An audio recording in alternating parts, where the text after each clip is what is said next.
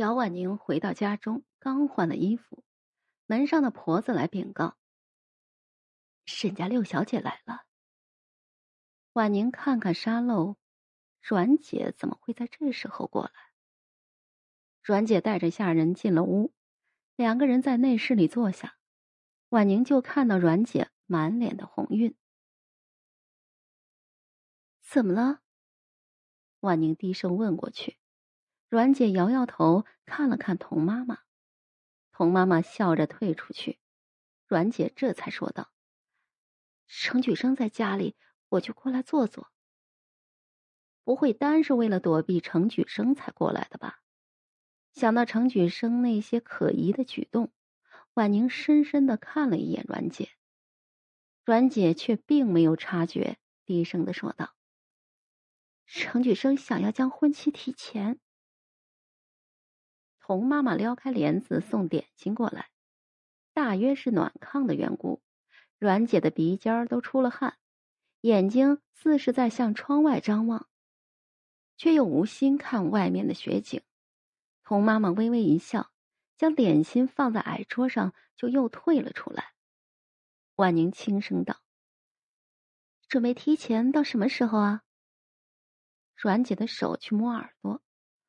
我也是听父亲说的，程举生想要在京里置办聘礼，买个小庄子，再买处宅院。说着，抬起眼睛，他想要以后在在经济经商。看阮姐的模样，程举生显然之前没有这样的准备，所以阮姐觉得很突然，手紧张的去摆弄腰间的荷包。你怕留在京里？阮姐对程举生的态度，并不是不想嫁去程家，而是将重点放在了刘京上。阮姐点点头，嗯，父亲母亲过阵子就要回去扬州，我我原以为程举生也会在扬州经商，这样哪怕是嫁过去，我也能时常的回去陪陪父亲母亲。父亲常年在外，我放心不下家里。赵氏的身体不好，阮姐从很小就帮着赵氏打理内宅，将所有的一切安排的妥妥当当，让赵氏省心不少。程举生为什么要留在京城？他不是一直在南直隶经商吗？嗯，他跟我说。阮姐不知道怎么说好，想了想，嗯，买卖锦缎赚了银钱，就想在京城开个铺子。因为在南直隶已经跑通了路子，将来在京里的时间更长些，不如就在京中置办了宅院。之前没有走通这条路，不敢轻易的跟我们说。如今眼见赚了银钱，就就跟我父亲开了口。听起来程举生只是为了生意，才留在了京城。阮姐拉起了婉宁的手：“你说我我怎么办呢？”知道早晚都要嫁人，可是想想离家那么远，我心里就难受。阮姐说着，看到外面有了阳光，就满怀心事的起身准备回去，跟赵氏一起去院子里说说话。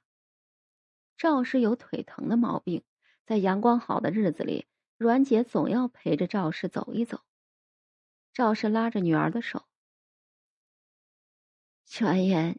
你就要出嫁了，你这样一嫁，我还真觉得身边空荡荡的。阮姐一时黯然。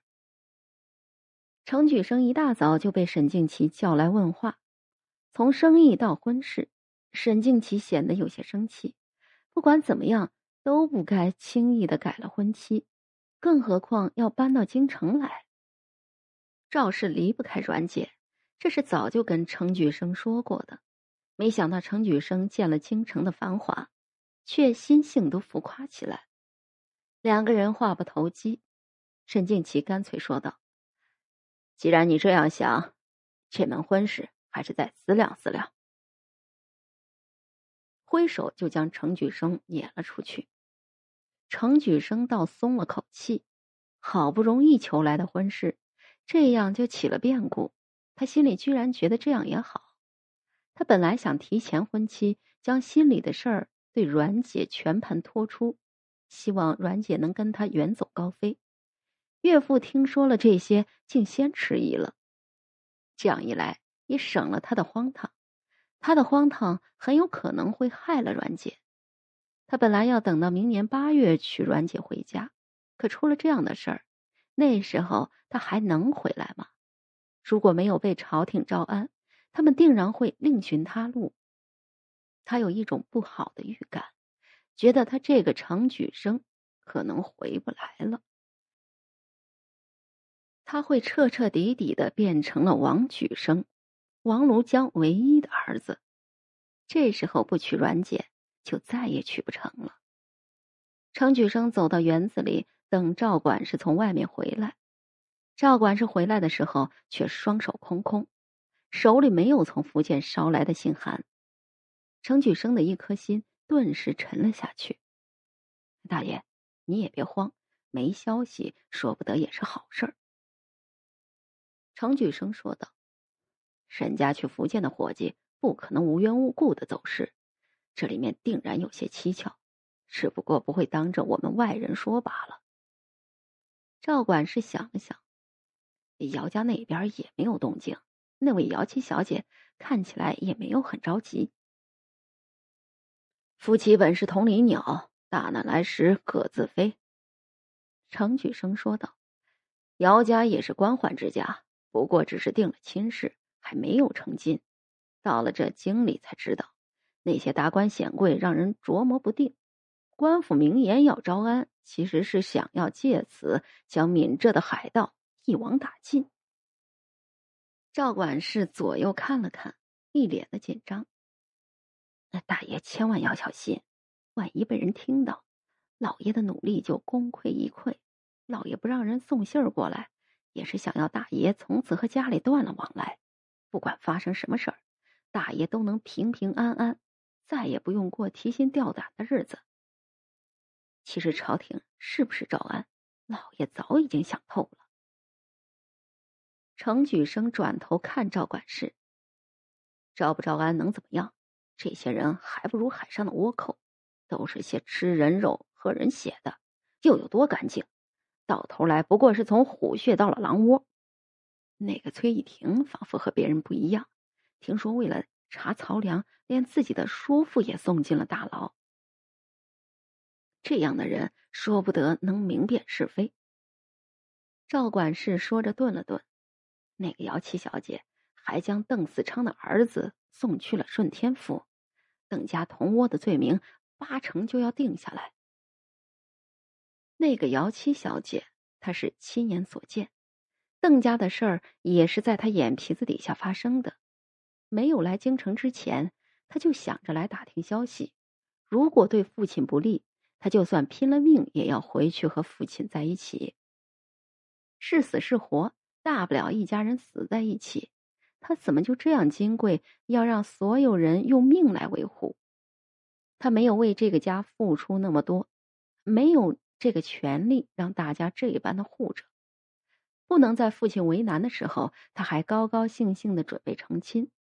这样想着，他就觉得愧为人子。他想要做程举生，可到头来却还是王举生。阮姐要怎么办？那么好的女孩子，如果知道了所有事儿，难免要受他牵连。他却又不愿意将她蒙在鼓里。这样对他也是不公平。他应该跟阮姐说清楚，可是这话要怎么说？程举生刚想到这里，外面传来了一阵嘈杂的声音，只听到有人喊道：“这是怎么了？别急，别急，已经让人去禀告齐小姐了。怎么弄得浑身都是血啊？”下人惊诧、慌张的声音传过来。说是蒋家有位小姐，不小心将丫鬟推倒了，丫鬟摔到头，血淌了一地。程举生听着声音从假山石后出来，丫鬟看到立即上前行礼，却再也不敢多说，匆匆忙忙低头离开。程举生到了前院，自己贴身的小厮就来说道：“听说是贺家找姚七小姐。”姚七小姐刚好在沈家这边。沈家置办了茶园和铺子，姚七小姐这段日子经常过来和沈四老爷商议这些事儿。程举生刚想到这里，就听到有人说道：“七小姐让备车，快去贺家。”程举生觉得奇怪，那个姚七小姐不是只会经商吗？怎么又治起病来？一阵忙乱过后，沈家下人才松口气，小声的议论起来：“血不是已经止住了吗？怎么还让七小姐过去？贺家才是杏林世家，怎么大事小事都要七小姐帮忙？不是那个受伤的下人，蒋家有位小姐得了病，那下人是那位小姐打的。四老爷因此还多问了几句。”生怕七小姐过去会受伤。七小姐可真厉害，半点没有迟疑就让人备了车马。这万一伤了头可怎么办？七小姐还没有嫁人呢。但是不会吧？贺家有那么多的人。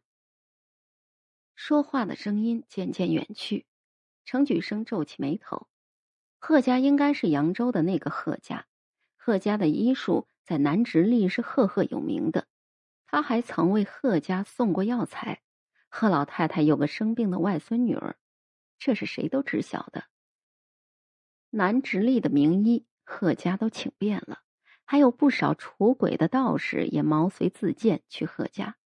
连贺家都治不好的病，不可能有人治得。没想到这贺家来求姚七小姐，姚七小姐赶去治病。大爷。清脆的声音传来，程举生下意识的转过身，看到阮姐带着丫鬟站在不远处。阮姐紧紧的捏着帕子，抬起头看着他，仿佛要从他脸上看出什么端倪。程举生不由得挪开目光，下人走开几步，阮姐抿了抿嘴唇。万宁说的没错，他心里纵然有千般的猜测，都不应该悄悄的怀疑。应该说个清楚，毕竟这是他的婚事。不知怎么的，程举生觉得眼前阮姐的眼神变得坚定起来。然后阮姐张开嘴：“程家大爷，你到底为什么要让我父亲改了婚期？为什么要留在京城？”燕姐怎么样了？贺太太看着从屋子里出来的童妈妈。忙问过去，童妈妈摇摇头：“我们小姐还在劝。”说着话，有丫鬟面色苍白的端了个痰盂出来，那丫鬟手不住的颤抖，几乎要晕厥过去。贺老太太正要上前询问，那小丫鬟就惊得手一滑，将痰盂落在地上，里面是鲜红的血洒出来。这是怎么了？贺老太太诧异的问过去。小姐，小姐，姚七小姐割伤了小姐的手，流了好多的血。贺老太太听得睁大了眼睛，旁边的蒋静瑜忙说：“外祖母，不能再让婉宁这样治下去。妹妹，妹妹身子那么虚，怎么好受这种苦？我，我心里难受。”蒋静瑜话音刚落，就听到屋子里仿佛渐渐安静下来。贺老太太紧紧的盯着那扇门，好半天门才被打开。姚七小姐从里面走出来，贺老太太上前问过去：“怎么样？”婉宁没有回答，反而问道：“严姐已经好多了，怎么又会突然的病发？”贺老太太看向了蒋静瑜，蒋静瑜吞咽一口：“妹妹突然就……”就像每次一样，打了我，又将下人推下了台阶，我怎么也按不住他。婉宁说道：“严姐突然就打了人。”蒋静瑜点点头：“可能是我屋子里太亮，我也不知道是为什么。”贺老太太只顾得要去看严姐，没有在意蒋静瑜的神情。严姐头上的伤是从哪儿来的？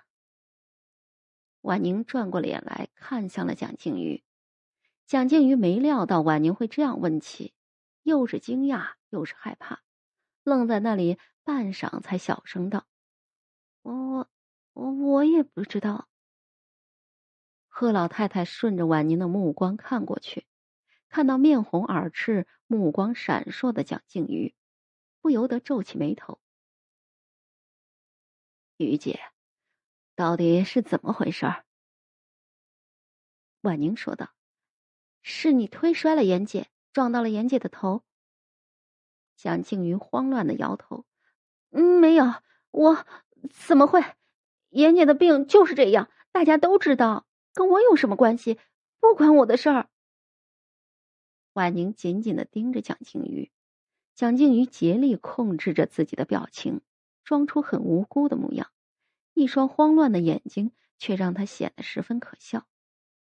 想想严姐那清澈的眼睛，为人着想又心地善良，却要受病痛的折磨，真是不公平。严姐那么好，却要过这样的日子。在这样的情形下，还替姐姐遮掩，而蒋静瑜却将所有的罪责都推给了妹妹。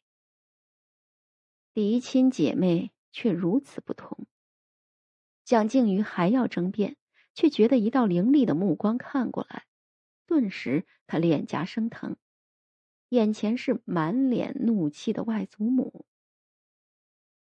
蒋静瑜睁大了眼睛。外祖母从来没有这样对过他。贺老太太满脸失望。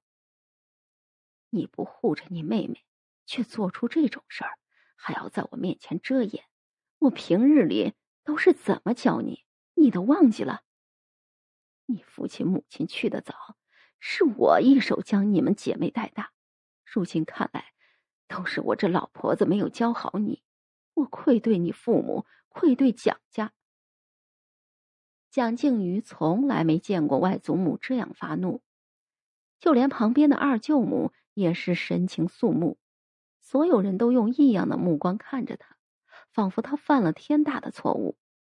不过就是推了严姐一把，他也不知道严姐会这般，都是因为严姐的病才会如此，寻常人绝技不会如此。说到底，都怪姚婉宁，姚婉宁在外祖母面前告了他一状。想到这里，蒋静瑜脸上已经多了怨恨。外祖母就这样定了孙女的错处，严姐到底是怎么摔的？孙女真的不知晓。贺老太太下意识的摇头。事到如今，于姐还不肯承认，说起亲妹妹，没有半点的愧疚。她万万没想到于姐会变成这般模样。